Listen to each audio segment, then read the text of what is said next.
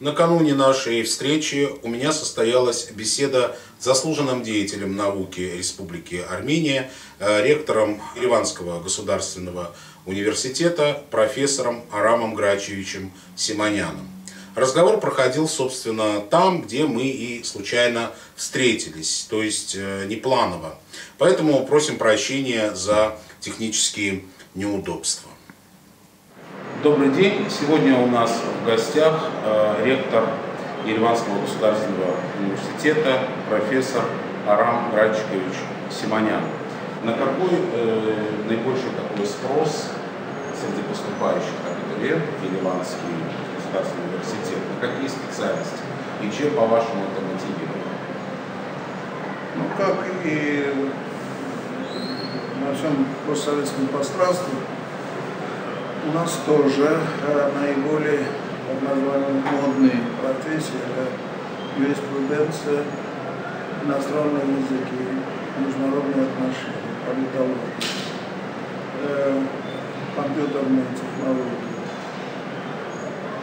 Это обусловлено тем, что э, по этим специальностям в начале 90-х было очень большая нужда была в народном хозяйстве.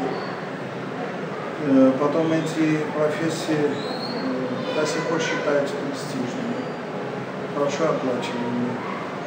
Э, так называемые чистые профессии, которые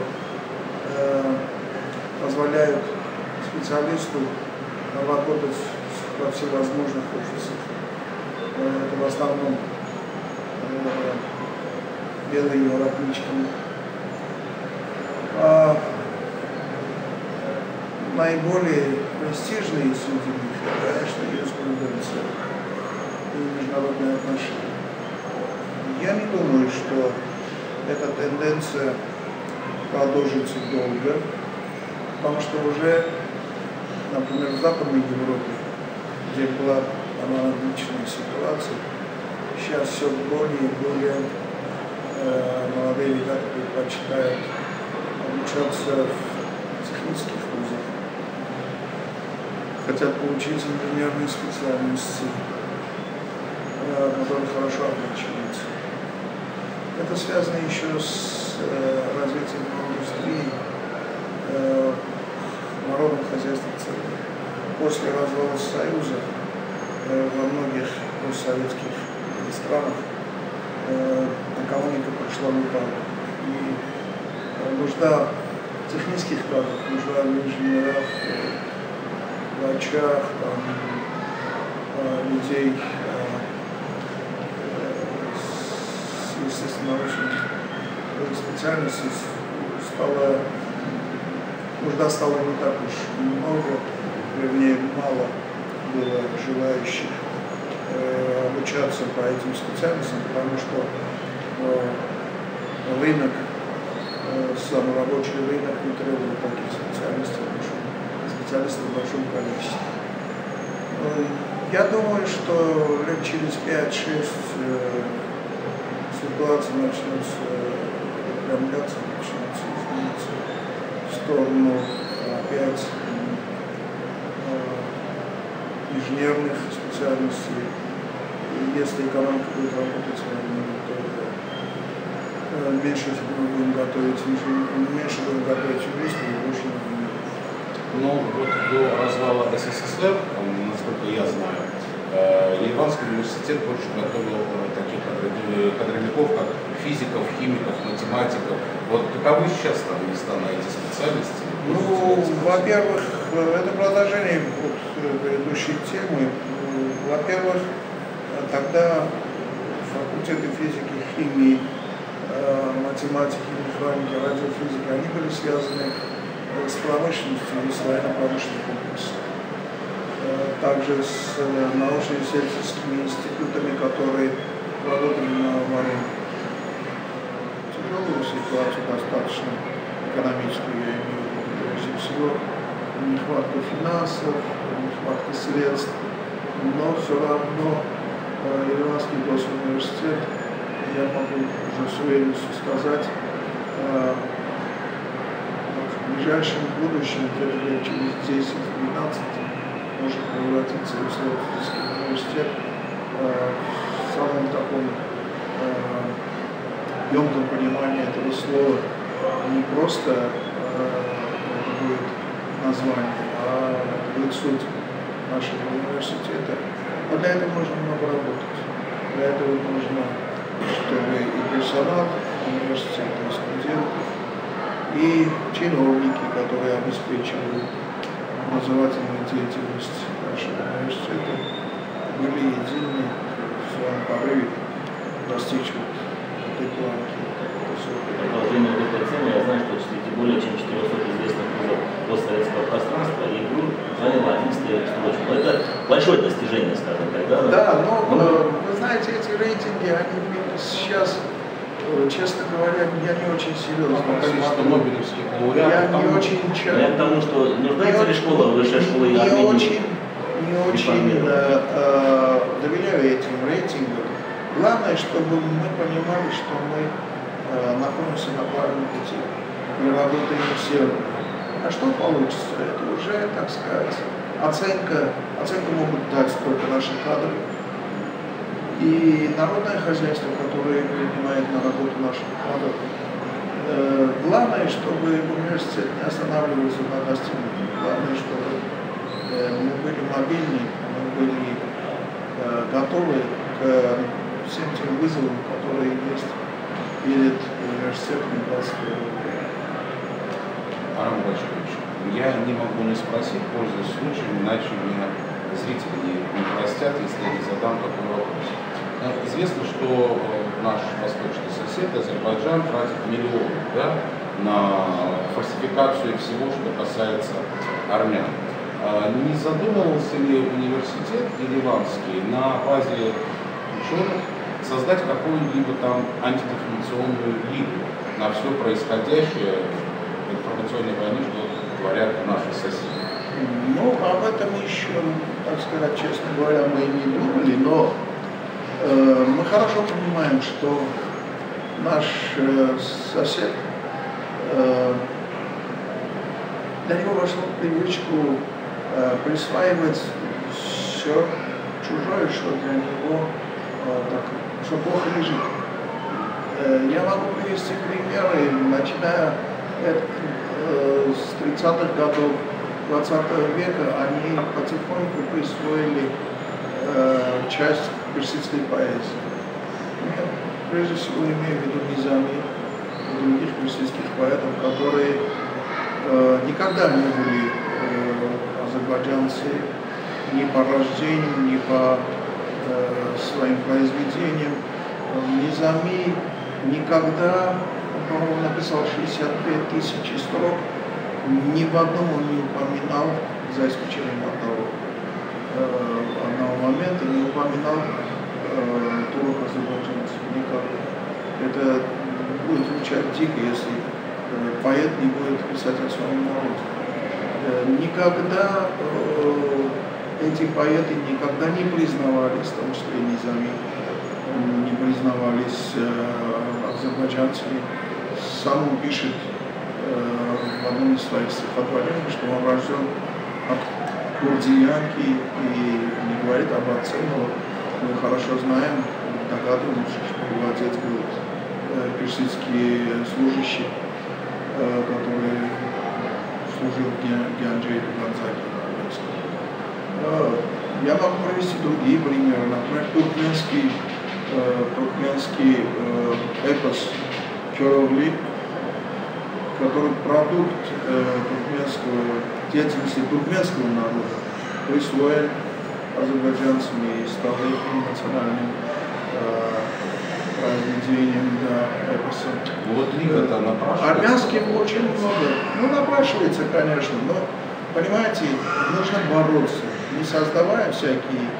Ну, может быть, может быть, я не совсем готов а, утвердительно сказать, что необходимо вот сейчас это делать. Но то, чтобы бороться э, с этим нужно, с этим э, Эм, это я называю чумой. Потому что, вот посмотрите, я недавно был в Японии, в Токио, пошел в музей, э, э, музыкальных инструментов, и там стоит тар, и написано, это азербайджанский национальный инструмент. Хотя все знают в мире, что это персидский инструмент. Или всевозможные настольные игры или другие ну, дворовые игры, которые родились э, в древнем Персии, э, они присваиваются. Даже это доходит до смешного. Начинают доказывать, что Голма это, скажем, азербайджанский еда и так далее. Это глупость, потому что никто не может сказать, какая еда дом дома делают, и армяне, и азербайджанцы, и греки, и украинцы делают, и в Молдавии делают и так далее. Это смешно, понимаете? Но присвоение чужой культуры, это, видимо, сидит в крови наших э, добрых, кавычках, друзей, соседей. Да, конечно, нужно бороться с этим, нужно бороться.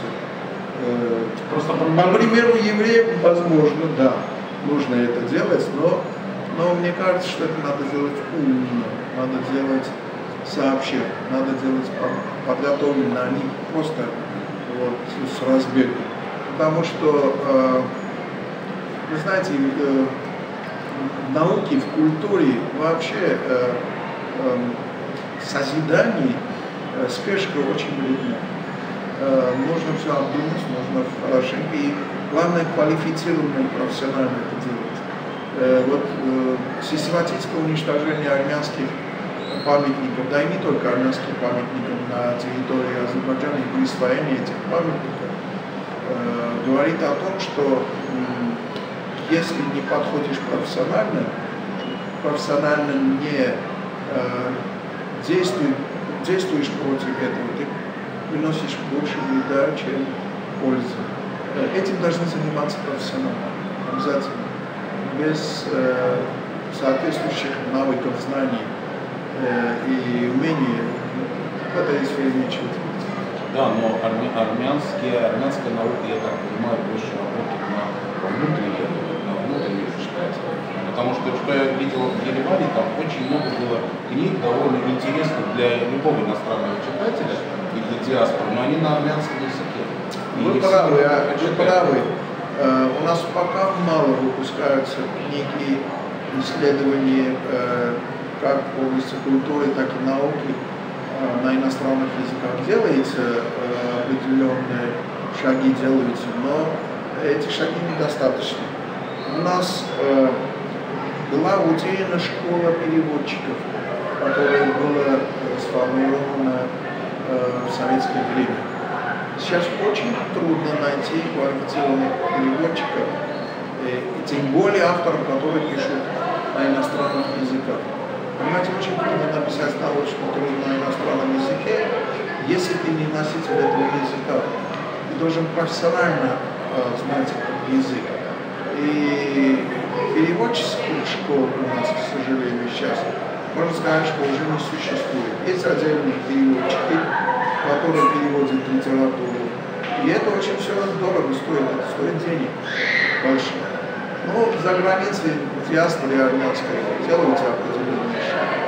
У нас тоже, в частности, в нашем университете мы очень поощряем, если люди пишут на иностранных языках, на русском, на английском, на французском, на немецком и так далее, на арабском. И э, стараемся хотя бы часть тех статей, которые публикуются у нас наших журналах, написать э, на иностранных языках.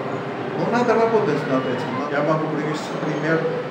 Вы прекрасно знаете нашего великолепного артиста Армана Котикяна, который блистал на армянской сцене и в кинематографии в 50-е, 60-е годы.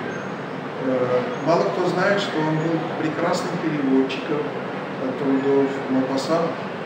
Он перевел романы Мапасана, и они изданы на армянском.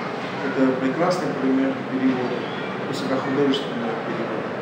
Почему? Да потому что у него было хорошее французское образование, он долгое время жил в французской среде, общался с французами, с носителями языка.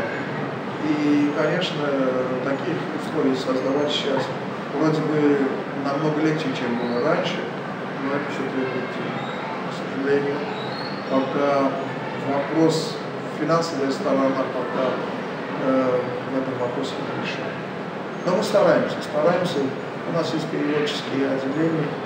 Э, думаю, что если год мы выпустим хоть одного или двух переводчиков нормальных, хороших, на уровне, то наши дело считать сделанным диплом в каких странах он принимается как за официальный документ об образовании? Вы знаете, э, вообще-то в Европе, так как мы член Болонского процесса, формально наш э, диплом признается во всей, во всей Европе. Но я хочу вам сказать, что сейчас очень, в очень многих странах не обращают внимания на диплом.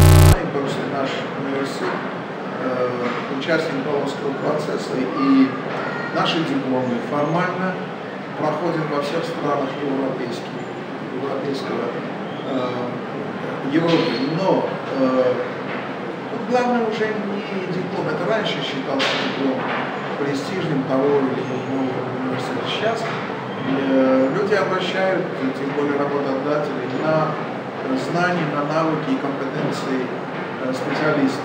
Если специалист э, имеет на уровне все это, то тут диплом уже второстепенное э, значение имеет. Я могу привести пример, скажем, э, почти все выпускники магистратуры нашего физфака быстренько находят э, хорошо оплаченную работу за границей. Во Франции, в Германии, в США, в других западноевропейских странах, в Канаде. Так что я думаю, что престиж Московского госуниверситета э, на достаточно высоком уровне при тех возможностях, которые мы имеем. Э, я скажу даже больше. Э, при наших скромных возможностях все-таки Ереванский государственный университет делает максимум. И наши выпускники, я думаю, что они правы и находят хорошо оплачиваемую работу. Финансовая община очень тесно сотрудничают э, с ЕДУ. И хотел бы, пару слов пожеланий нашим зрителям нашей газете э, сказали и Ну, газете я желаю благодействия, чтобы продолжал публиковаться и был, э, была интересна читателю. А я скорее всем армянам Ростовской области. Ну, желаю прежде всего счастья, благоденствия, мира, покоя и, конечно, работы. Э, и приглашаю э, молодых членов этих семей армянских в э, Ереван учиться в Ереванском государственном университете. Спасибо за уделенное время. Это был ректор Ереванского государственного университета Арам Симонян. До новых встреч!